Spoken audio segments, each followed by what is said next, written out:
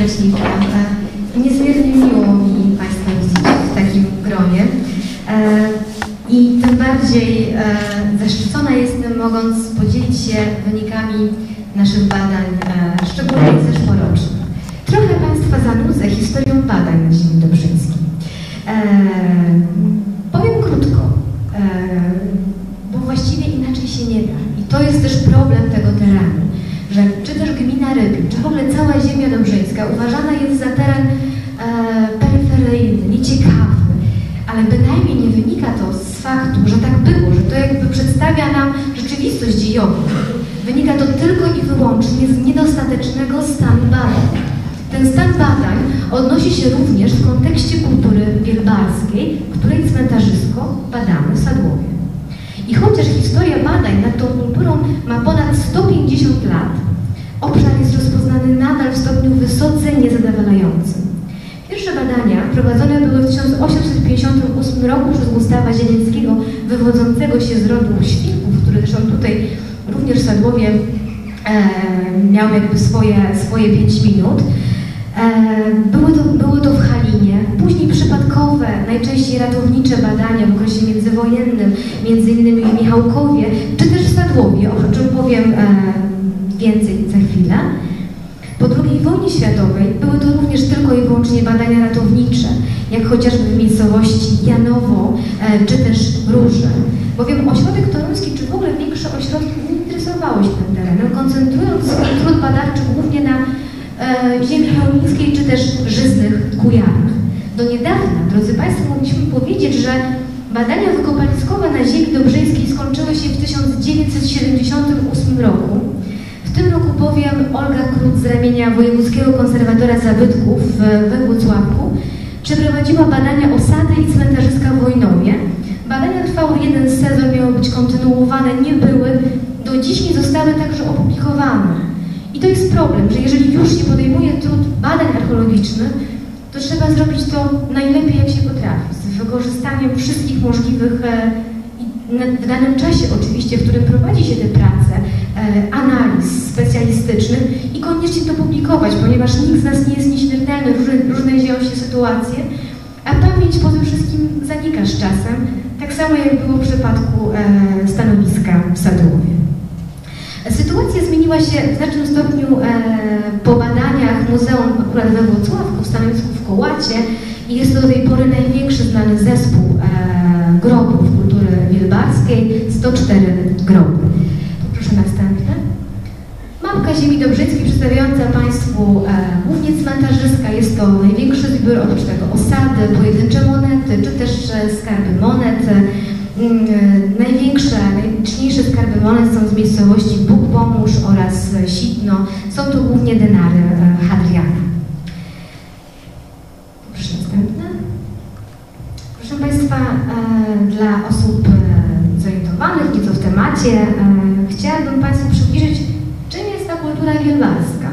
Padło to stwierdzenie dzisiaj kilkakrotnie, a nie do końca może być zrozumiałe. Nazwa tej kultury pochodzi od e, pierwszego cmentarzyska, e, które odkryto w miejscowości Wielbark. Obecnie jest to dzielnica Malborka, Malbork-Wielbark. I to, co e, dla nas archeologów jest zrozumiałe, e, a Państwu wymaga, e, dla Państwa wymaga komentarza, to, to fakt, że kultura archeologiczna jest całkowicie sztucznym naukowym bytem. Jest to bardziej katalog znalezisk i cech, a niekoniecznie rzeczywiście kiedyś istniejąca społeczność. E, natomiast wydzielanie kultur archeologicznych jest niezbędne dla naszej pracy, ponieważ porządkuje przeszłość, chociaż oczywiście w sposób sztuczny, a nie rzeczywisty. Kulturę wielbarską, słusznie czy nie, tutaj zdania są bardzo podzielone, od dawna łączono ze skandynawskim lodem, e, ludem Gotów, o których myślę, że większość z Państwa e, słyszała. E, I uważano, że powstanie jej po prostu było wynikiem przewędrowania ludności gockiej ze swych pierwotnych siedzib w szwedzkiej prowincji Gotland lub na wyspie Gotland. Czy te zdania są prawdziwe, czy nie? Tutaj otwiera się przed nami bardzo, bardzo długa dyskusja naukowa. E, nie chciałabym jakby szczególnie e, wchodzić w szczegóły. Kilka jeszcze cech, które wyróżniają ten sztuczny byt, jakim jest ta kultura wielbarska. Otóż przedstawiciele tej kultury chowali swoich zmarłych zarówno niespalonych, jak i spalonych. Nazywamy to wirtualizmem. E, szczątki spalonych zmarłych składane były w ziemi w różny sposób. E, bądź to do jamy bezpośrednio, czy też do popielnicy i grzebane w ziemi. E, nie potrafimy wyjaśnić, skąd się brały te różnice w obrządku pogrzebowym. Czy jest to kwestia innego statusu, statusu społecznego, e, czy też przynależność do innych rodów. E, wiele pytań niestety w archeologii pozostaje bez odpowiedzi. Musimy się z tym pogodzić. Natomiast no być może nowe metody pozwolą nam na rozwikłanie pewnych zagadek. Ponadto typowa do tej kultury, akurat nie na ziemi dobrzyńskiej z wyjątkiem miejscowości Cichocin e, jest obecność kurhanów z nasypami kamiennymi, chociaż nasze cmentarzysko w Sadłowie, podobnie jak większość, jest to cmentarzysko tak zwane płaskie i w końcu niemal rygorystyczny e, zakaz składania do grobów e, narzędzi, natomiast groby kultury wielbarskiej są bardzo bogato wyposażone właśnie w elementy stroju i ozdoby całą gamę tego typu elementów, e, głównie z brązu, ale także ze srebra i złota, odkryliśmy również e, u Państwa w sąsiedztwie e, współczesnego cmentarza. Poproszę następny. Proszę Państwa, przechodząc już do tego Sadłowa i też tego wyniesienia, które jest tak naprawdę bohaterem naszego spotkania. Historia ta zaczęła się dawno temu. Zaczęło w 1927 roku podczas prac związanych z budową kolejki wąskotorowej, kiedy to natrafiono na cenny, całe szczęście dla tego stanowiska cenne zabytki kultury wielbarskiej. Była to m.in. misa Terra Siglata, import z Imperium Romanum, w doskonałym stanie zachowania, zdobiona przepięknie w tak zwanym stylu wolnym, przedstawiającym scenę polowania lwy na jelenie, dodatkowo zdobiona jeszcze e, innymi elementami, a także puchar szklany. Zabytki te przechodziły niezwykłe koleje losów. Wiadomo z, z opowieści, z zapisków, z, z, z śledztwa, które zostało przeprowadzone przez nas, że nadzorującymi pracami inżynier Chmielewski sześć lub siedem naczyń e, zostawił u państwa kredkowskich, którzy wówczas byli właścicielami pałacu w Sadłowie. Co się z nimi stało, nie wiem. Gdyby ktoś z Państwa miał jakieś podejrzane stare naczynie w domu albo w piwnicy, być może, być może jest to naczynie wykopane w 1927 roku, które e, trafiło przypadkowo z pałacu do, do któregoś z mieszkańców. Jeżeli tak, to bardzo będę wdzięczna za taką informację. Wiemy natomiast, że inne przedmioty trafiły również do Muzeum w Płocku do rąk pani Haliny Rudzkiej. Natomiast, tak jak tutaj jest zapisane, wazę bardzo ładnej greckiej roboty z rzymskim wyobrażeniem e, z onyksu czerwonego zabrał tenże inżynier do Warszawy. Trafiła ona do, wybitnego, do rąk wybitnego archeologa Włodzimierza Antoniewicza naprawdę szczęście miała, że trafiła na, na akurat takiego archeologa, który miał zwyczaju publikować. I tym samym już w 1930 roku pojawiła się publikacja o tejże teraz Sigilacie i dzięki temu w ogóle wiemy, jaki ona miała wymiary, jak wyglądała, e, jaki, jaki przedstawiała ornament. Ale sytuacja nie była taka oczywista, bo jak to bywa pomiędzy ludźmi, e, sytuacje osobiste wpływają również na sytuacje zawodowe. I tenże Włodzimierz Antoniewicz, zaciekawiony wówczas trzecią teraz jubilatą znaną z terenu ziem polskich, przyjechał do Sadłowa, prawdopodobnie rok później, z zamiarem przeprowadzenia tutaj badań archeologicznych. Udało nam się znaleźć informację, że, e, że e, jakby określił, że e, zarys możliwości badawczych i wielkość tego wyniesienia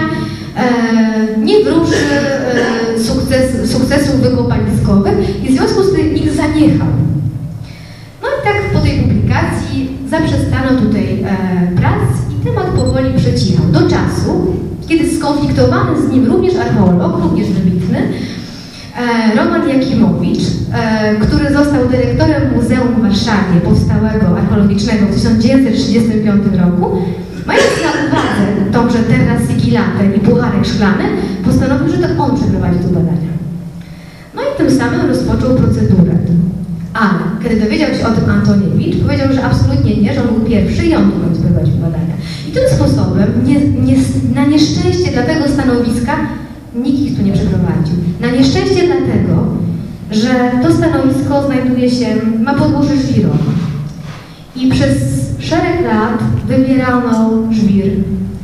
Szacujemy po analizie map, że ponad połowa stanowiska została zniszczona przez wybór, e, wybieranie żwiru i znajduje się w tej chwili pod drogami powiatu rybnickiego, skąd ten żwir właśnie mm, pobieramy. Takie czasy, inna ochrona, inna świadomość.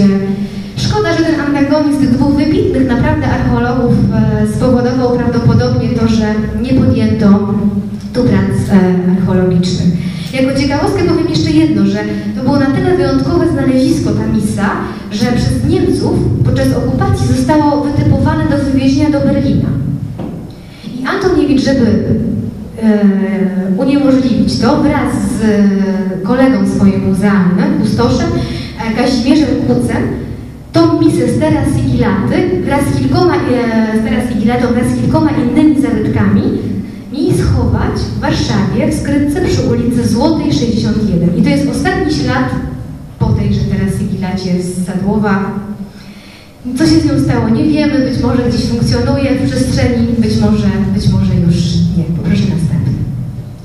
Proszę Państwa, wielu szukało tego cmentarzyska.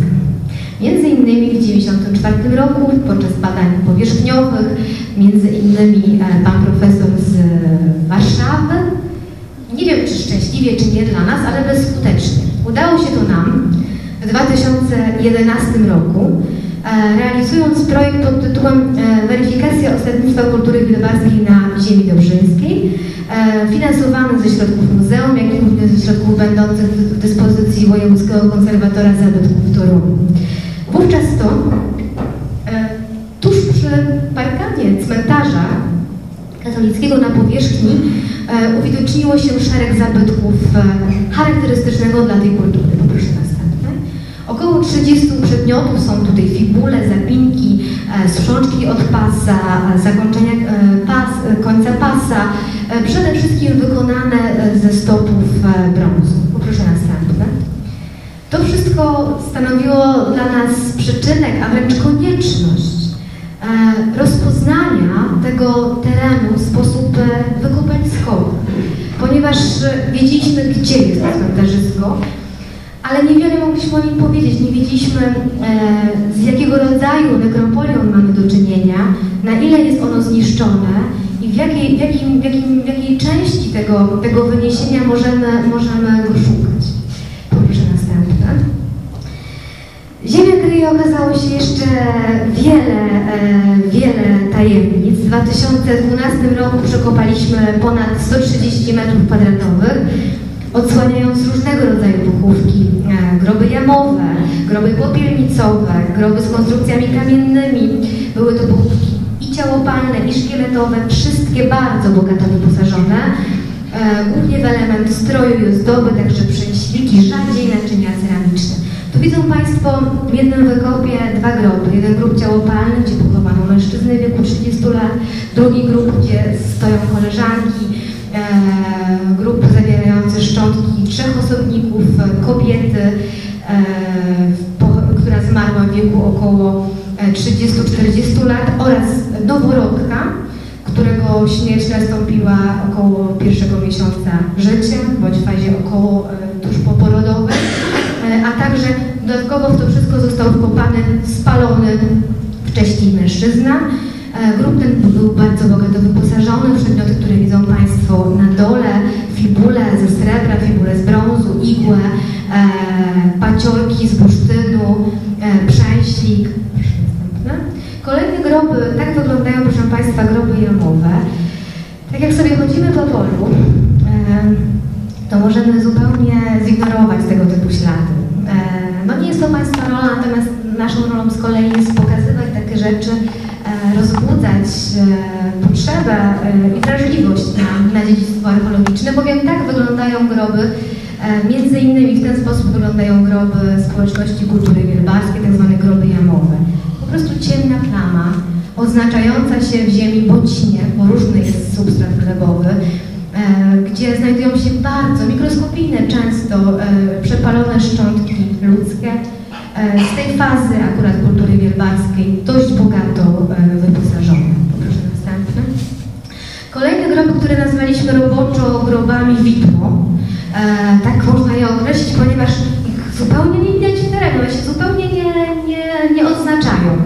Jest to skupisko kości przepalonych i jakby przemytych później, przemytych ze śladów użycia ognia w, obrzędzie e, palenia, palenia ciała.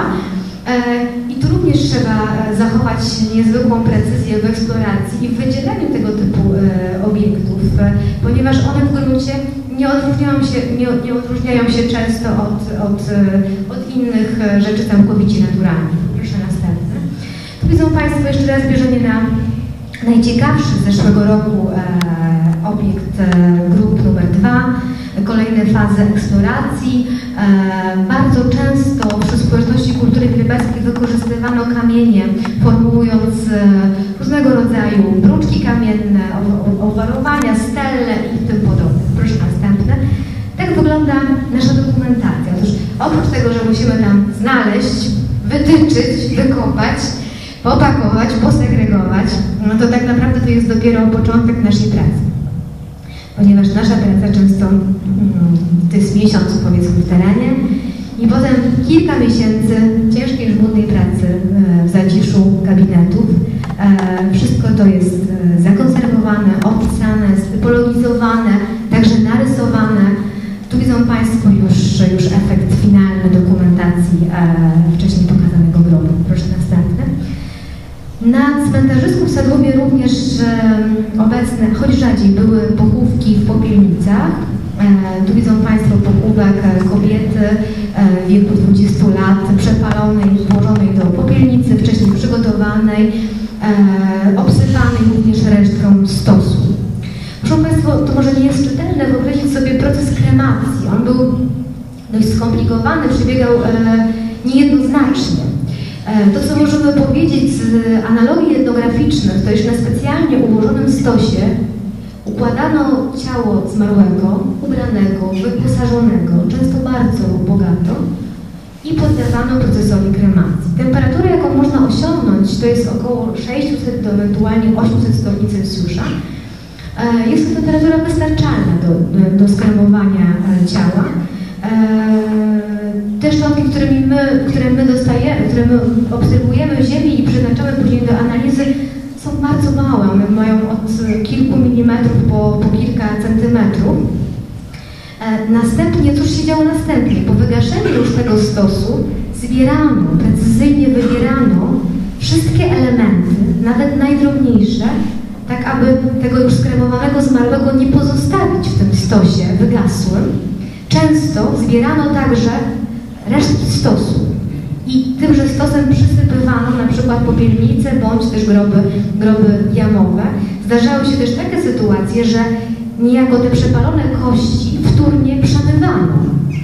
E, kultura mielbarska akurat jest tak, tak ciekawa i tak zarazem niejednorodna pod względem obrządku pogrzebowego, że nic nie jest typowe tak, dla tej kultury. Chyba to jest dla obrządku pogrzebowego tej kultury. Chyba to jest najlepsze, co można, co można e, o tym powiedzieć. Jeszcze jedna rzecz, e, kwestia e, umiejscowiania przepalonych szczątków w grobach bądź też popielnicach.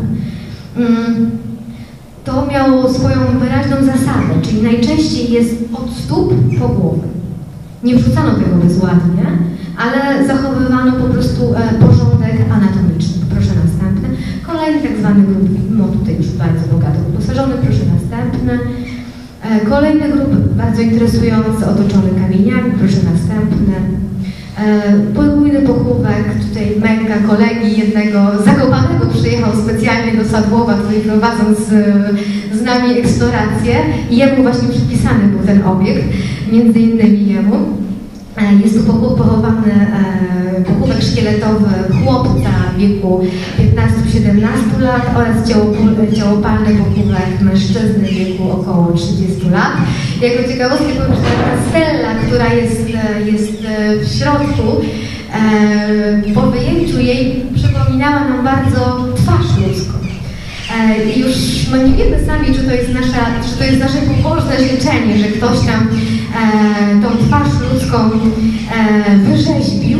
E, znajduje się ona, ta stela została przewieziona do Torunia, znajduje się jeszcze w analizie u pani Petrograf. E, czekamy nadal na wynik. Witam serdecznie wspomnianych kolegów archeologów. Poproszę następne. Widzą Państwo e, po lewej stronie na dole rzut poziomy, tak uwidaczniają się popielnice ziemi. A po prawej stronie, e, no taka ciekawostka, ponieważ e, wśród tej kultury wielbarskiej również występują groby z tak, z tak zwanymi brukami kamiennymi, bądź też przykrywane brukami kamiennymi. Często są one bogato wyposażone.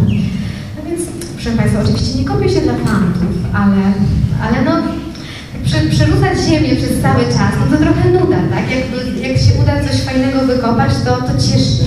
W związku z tym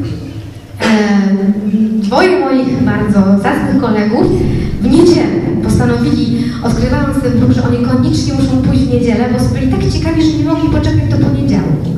I okazuje się, że niedzielna praca to jednak niwecz się obraca, bowiem ten bruczek nie okazał się brukiem towarzyszącym pochów, pochówkowi kultury wielwarskiej, a niczym innym jak najprawdopodobniej kopcem granicznym, późnośredniowiecznym, związanym z nieopodal funkcjonującym e, w późnym średniowieczu zamkiem, ponieważ we, we, we wnętrzu e, tychże kamieni była, znajdowała się ceramika późnośredniowieczna oraz e, fragment e, cegły, a, wie, a, wiemy, że w średniowieczu w taki sposób właśnie takimi kopcami e, oznaczano granice. Poproszę następny. Mamy już analizy antropologicznej wszystkich szczątków e, odkrytych w zeszłym roku.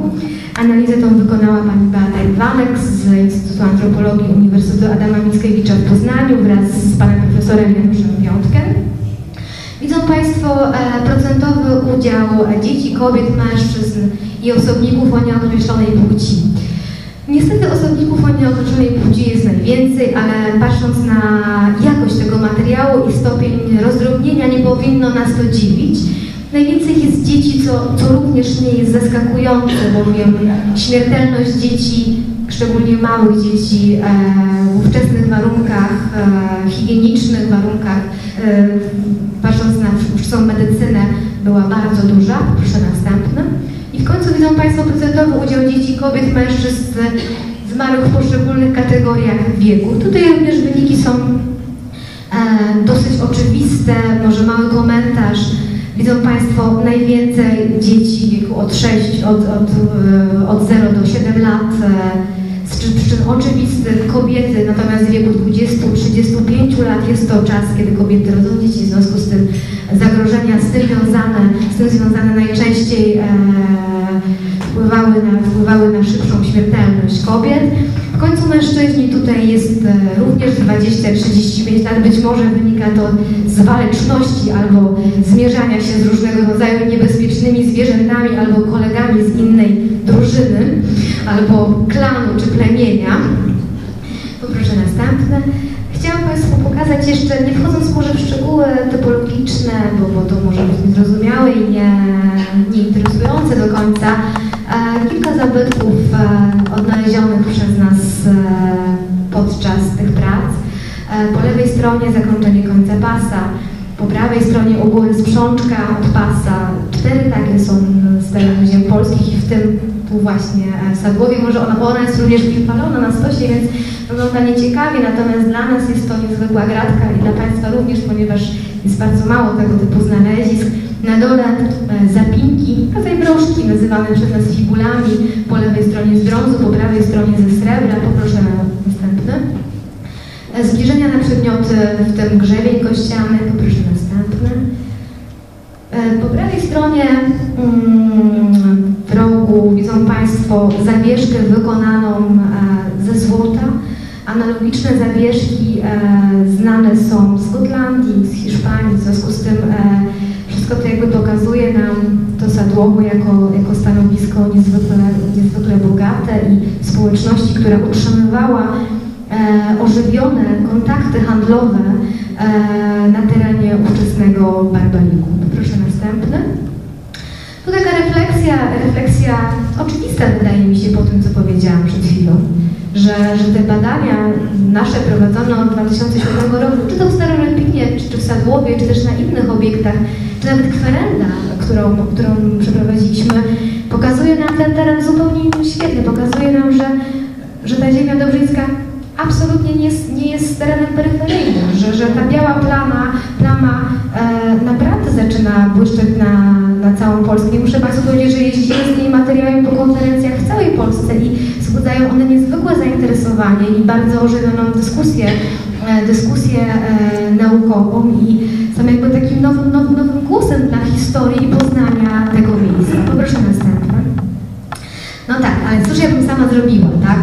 Nawet jak sobie znalazłam, że gdzieś tam ktoś tam znalazł e, jakąś tą teraz civilatę, to chyba by się popłakała, bym miała sama to wszystko wykopać. Naprawdę, proszę Państwa. W związku z tym e, chciałabym tu jeszcze raz podziękować e, życzliwości e, wszystkich ludzi i też e, uczestników tych prac, bo nasza praca trwa od rana do, do nocy. E, I w terenie, i później tutaj akurat w murach e, pałacu. A eksploracja grobów jest wyjątkowo mm, czasochłonna i wymaga ogromnej precyzji. Trzeba bowiem dokumentować każdy poziom eksploracji e, w sposób i fotograficzny, i rysunkowy. E, dodam, że pracujemy w różnych warunkach pogodowych, również w różnej, e, w różnej ziemi, w glinie, w piasku. Jest to niewątpliwie zajęcie dla pasjonatów, no bo archeologia to nie piramidy i starożytne e, grobowce, a ciężka praca i w terenie, a potem w zaciszu gabinetu. Mm, a i tak stanowi to tylko niewielką część e, naszej pracy. Poproszę następne. Tu kilka zdjęć przedstawiających e, naszą taką codzienność wykopaliskową. Obiekt podczas eksploracji. Ściągamy warstwy nie większe niż 2 cm. Każdą z tych warstw, warstw dokumentujemy, aby zachować jak najwięcej informacji o tym, o tym, co się działo w tej ziemi, ponieważ no to jest smutne, ale tak, tak wygląda nasza praca. Archeolog jednocześnie kopiąc i badając niszczy to stanowisko, więc musimy robić to jak najdokładniej, jak najprecyzyjniej, żeby mieć pełną dokumentację tego, co się działo w ziemi. Poproszę następną. Widzą Państwo, akurat na tym stanowisku i w ogóle w przypadku e, cmentarzysk, łopata to jest najmniej używane narzędzie pracy. E, są to głównie grecki, narzędzia zegarmistrzowskie, w związku z tym e, naprawdę wymaga to, wymaga to wiele, wiele pracy. Poproszę następne. Widzą Państwo, tu na nieszczęście tego stanowiska e, groby znajdują się tuż pod warstwą humusu, w związku z tym nasze badania i zeszłoroczne i te, które podejmiemy w tym roku mają charakter ratowniczy, bowiem to stanowisko zostało zniszczone już wcześniej i, i nadal podlega różnego rodzaju procesom. Poproszę następny. Wszystko to, co znajdziemy jest dokładnie opisywane i namierzane w sposób trójwymiarowy. Czyli lokalizowane jest w przestrzeni, oprócz tego lokalizowane jest również nad poziomem morza. Proszę następne. Widok ogólny na nasze prace, poproszę następne, poproszę następne. No i e, miejsce, nasz dom e, na czas ekspedycji, pałac e, Sadłowski, niezwykle romantyczne, romantyczne miejsce, w którym dzięki życzliwości e, wójta, życzliwości pana Zbyszka możemy przebywać. Za to jeszcze bardzo serdecznie dziękuję. Poproszę następny. Prace gabinetowe, tak wyglądają nasze popołudnia i wieczory. E, polegają m.in. na mm, przeglądaniu, sprawdzaniu dokumentacji, też rysunkowej, też fotograficznej. Poproszę następne. I to wszystko, proszę Państwa. Jeszcze raz chciałam serdecznie podziękować. Gdyby cokolwiek było niezrozumiałe dla Państwa, proszę się nie krępować, pytać. Chętnie odpowiem albo odpowiemy. Ja ze swojej strony poprosiłam wcześniej kolegów, e, którzy uczestniczyli w badaniach e, w zeszłym roku, aby opowiedzieli e, kilka słów dosłownie o, o swoich refleksjach e, z pobytu w tym miejscu, e, ponieważ oni również jeżdżą na kopaliska w różne miejsca, kopią różne rzeczy. Myślę, że bardzo chętnie i ja, e, i Państwo posłuchają.